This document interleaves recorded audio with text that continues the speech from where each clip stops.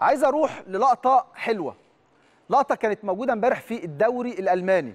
مباراة بين بايرن ميونخ وهوفنهايم في الدوري الألماني.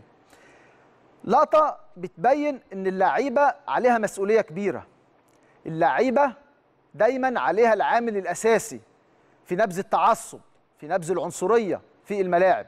لما نشوف امبارح مباراة ويا ريت لو عندنا صور أو لقطات برضو نعرضها امبارح في مباراة الأمس المباراة بايرن ميونخ اللي انتهت بفوز كبير لبايرن ميونخ على هوفنهايم 6 المباراة كانت في بدايتها فاز بايرن ميونخ 3 كان فيه هتافات معادية أو مسيئة لرئيس نادي هوفنهايم من جماهير بايرن ميونخ.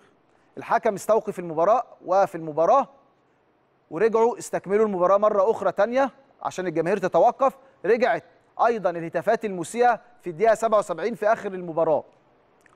اللعيبة توقفت في وسط الملعب اللعيبة توقفت في وسط الملعب وبدأوا يمرروا الكورة لبعض بشكل في تسلية أو بشكل في بدون منافسة عشان يوصلوا للجماهير أو رفضهم للهتافات المسيئة لرئيس نادي هوفنهايم. دي اللقطة دي دي كانت من مباراة امبارح بايرن ميونخ وهوفنهايم ودي صور معانا موجودة شايفين الفرقتين واقفين وكمان حارس مرمى بايرن ميونخ جه والحارس بتاع هوفنهايم جه وبدأوا يتناقلوا الكرة بشكل ودي. وبالمناسبة 13 دقيقة وكان شكل المباراة بالشكل ده. علشان امبارح اللعيبة بترفض الهتافات المسيئة.